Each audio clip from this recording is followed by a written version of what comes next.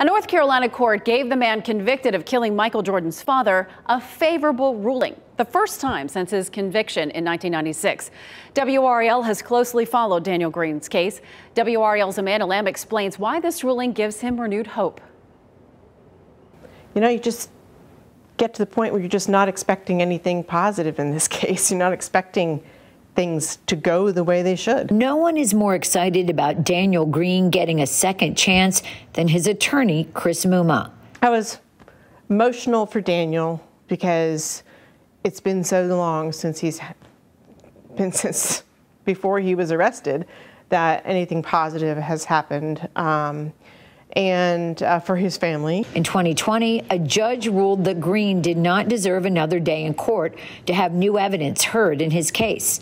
Now, the North Carolina Court of Appeals has vacated that ruling and kicked it back to the same judge for reconsideration. The court sent it back to the judge saying, you need to rethink this given precedent that if there are questions of fact on issues, um, you must hold an evidentiary hearing. He was excited.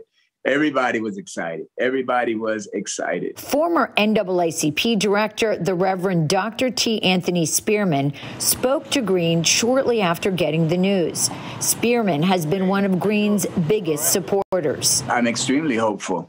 Uh, extremely ho- hopeful that uh, this this will manifest itself as a breakthrough that is going to get him to uh, being heard. Green was convicted of killing James Jordan in 1993. His co defendant, Larry Demery, testified against him. Green has admitted to helping Demery dispose of the body, but has always maintained that he is innocent of murder. No one believed him, no one took him at his word. Um, so, you know, this, as I said, it just seems to me that the question needs to be posed what took so long? I spoke with Daniel Green. He tells me he's excited, hopeful, but most of all, he's grateful. Amanda Lamb, WRAL News, Raleigh. WRAL Studios recently released a 10 episode podcast on Daniel Green's story called Follow the Truth. More episodes are now in the works. You can find it wherever you listen to podcasts.